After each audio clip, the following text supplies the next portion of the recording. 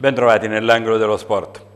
Commentare la partita contro il Milan e commentare una sconfitta lascia davvero l'amaro in bocca perché, insomma, anche da cronista, eh, pur volendo spaccare eh, i 97 minuti, 90 più 7 di recupero, in varie tranche per cercare di analizzare i vari aspetti della partita, bisogna riconoscere che il Pescara ha fatto una bella partita, ha giocato bene.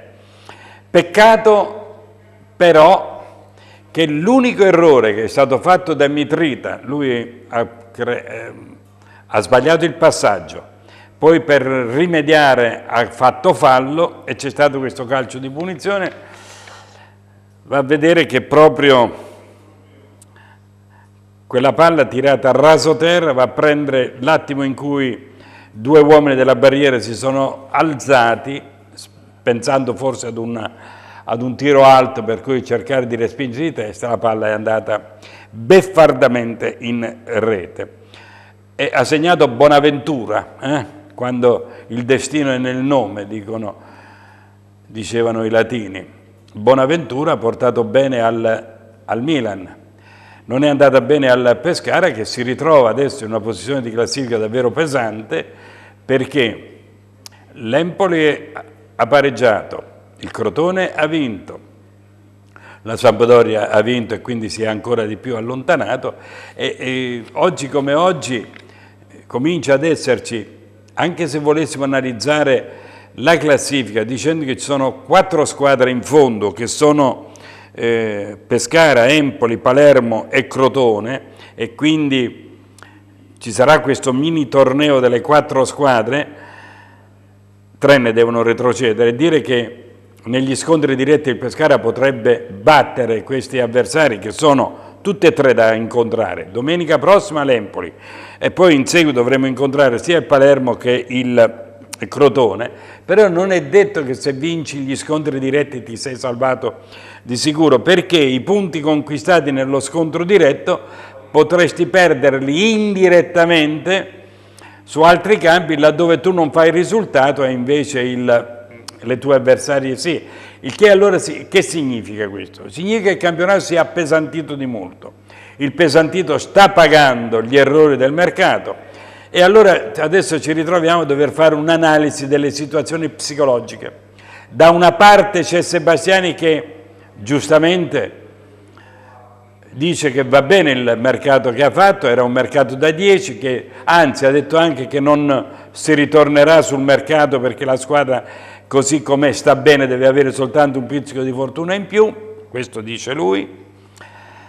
Dei tifosi invece si sono frazionati c'è un gruppo che cerca di giustificare in tutti i modi la società dicendo beh basta parlare adesso di errori del mercato o della punta che manca o di questo o di questo perché questa è la squadra e così bisogna andare avanti.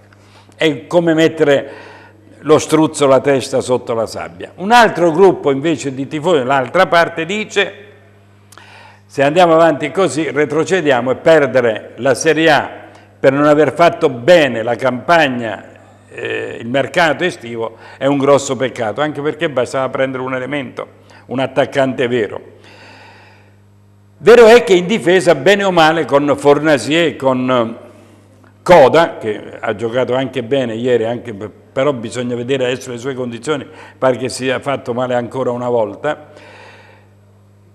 gli aspetti migliori li teniamo a centrocampo, però in attacco non ce l'abbiamo. Allora che succede? Che Pescara deve portare avanti questo, scherzosamente diciamo, tiki-taka abruzzese, no? questo fraseggio serrato, però noi non abbiamo la capacità di fare questi passaggi senza errori. Vai a fare l'errore sempre, costantemente, nel momento meno indicato. E quindi è un, è un tiki-taka che è un aborto del vero tiki-taka spagnolo. E allora ci troviamo in una situazione per cui adesso la partita di domenica con l'Empoli diventa, per fare un po' di colore, la partita della vita. Perché se non vinci questa partita si, si appende un pochino tutto. ma si appende anche perché abbiamo dei problemi. Brugman potrebbe essere squalificato, con, era già diffidato, quindi con il cartellino giallo preso e quindi salta la partita. Coda potrebbe saltare la partita e, e quindi che si fa? Niente, Oddo con la sua filosofia di gioco dice andremo avanti per la nostra strada in questo modo e non può fare diversamente. Non ha gli uomini per poter cambiare modulo di gioco, deve continuare ad insistere in questo modo cercando di fare però che cosa? Alzando un pochino di più il tasso tecnico in modo da evitare di fare degli errori in questo fraseggio di cui ho parlato prima e poi eventualmente aumentare anche il tasso fisico della squadra dandogli la capacità di lottare e correre per 90 minuti a ritmi notevoli in modo da poter sfruttare eventuali, eh, gli eventuali rilassamenti della squadra avversaria. Ieri è stata una bella partita, l'ho detto all'inizio del mio intervento. I migliori sono stati sicuramente Ben Ali, a me è piaciuto molto. Non so, Memushai, Zampano che continua a confermarsi uno dei migliori terzini, giovani. Del resto, da esterno di centrocampo non mi è piaciuto moltissimo, ma da quando parte da terzino, che ha tutta la fascia su cui correre e poi crossare, mi è piaciuto moltissimo. Mi è piaciuto anche Brugman, devo dire la verità.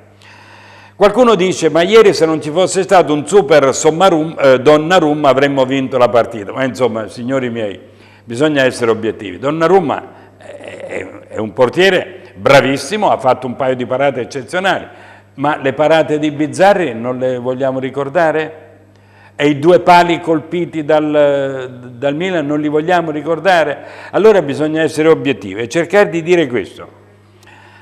La partita col Milan si è persa e ci poteva anche stare, però bisogna non perdere le altre, quelle che sono alla nostra altezza. Ma quali sono alla nostra altezza? In un primo momento i tifosi pensavano di asfaltare l'Atalanta, il Chievo e, e, e, via dicendo e ci abbiamo preso botte sul muso. E allora un po' più di umiltà, un po' più di coraggio nel, nell'impegnarsi a fondo nel lavoro e soprattutto ritrovare quella, quella unitarietà di intenti che deve rivedere insieme squadra, società e tifosi. Tutto per questa edizione. Un affettuoso abbraccio a voi tutti come sempre da Gianni Lussoso, un ringraziamento particolare al regista Leo Di Blasio, appuntamento alle prossime edizioni di TVQ Sport.